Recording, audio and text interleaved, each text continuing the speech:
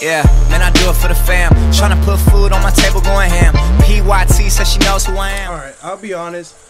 I haven't posted anything on my DGA board because I've been procrastinating. I've come home from work, I just take a shower, I either record a vlog or I watch Daredevil or I do something else and I totally don't post anything on my DGA board. Keep in mind that when I come home from work, I am beat. I just want to relax, chill. But eventually, I do want to post stuff on my board. I'll probably work on it this Saturday or sometime this week if I get off work earlier, if I come home with more energy. I got this dude back in my room. What's up, Piggy?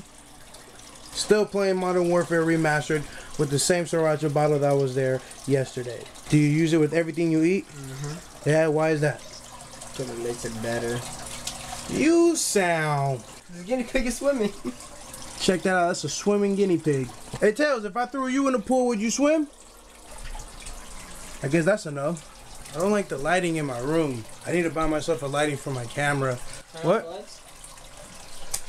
Whoa, that's bright. That's better right there. Better than using my ceiling light. Check this out. When I got home today, I walked through my front door and this is what I saw. That girl is a real crowd, please. Small world, all her friends know of me. Young- Crazy, right? Nobody was moving. It's like time froze.